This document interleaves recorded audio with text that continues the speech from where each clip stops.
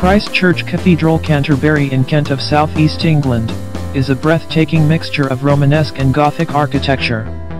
It has been the seat of the spiritual head of the Church of England for nearly five centuries.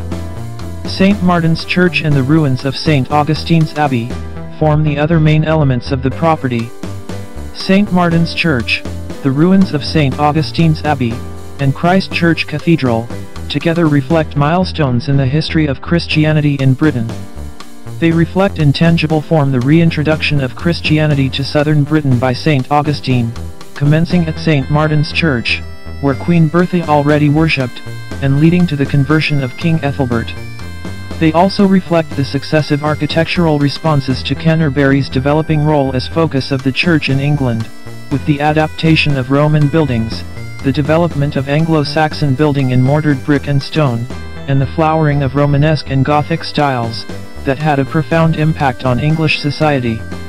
The Abbey Scriptorium was one of the great centers of insular book production, and its influence extended far beyond the boundaries of Kent and Northumbria.